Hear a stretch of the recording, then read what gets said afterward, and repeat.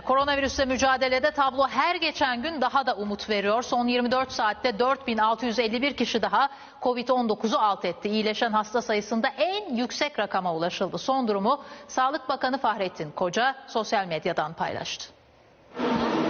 Tablonun az da olsa iyimserlik sebebi olan yönleri de var. Bir gün içinde iyileşen en yüksek hasta sayısına ulaştık dedi. 4651 kişinin daha virüsle mücadeleyi kazandığını müjdeledi. Sağlık Bakanı Fahrettin Koca Türkiye'nin koronavirüs tablosunu bu başarıyı riske atmayalım uyarısıyla sosyal medyadan paylaştı. Hedefimiz bu savaştan en az can kaybıyla çıkmak. Temaslı sayısı ve temas ortamı azaldığı için ihtiyaç duyulan test sayısının da azaldığını vurguladı Bakan Koca. Son 24 saatte 20.143 test yapılırken 2131 yeni vaka tespit edildi. Yani iyileşen hasta sayısı vaka sayısını katladı. Hastalığa karşı zafer elde etmenin yolu yayılmasını durdurmaktır. 95 kişi daha görünmez düşman sebebiyle hayatını kaybederken salgının başından bu yana toplam can kaybı 2900'e ulaştı. Sağlık Bakanı yoğun bakım ve entübe hasta sayısındaysa düşüşün sürdüğünü müjdeledi. Yayılma hızını kontrol altına almaya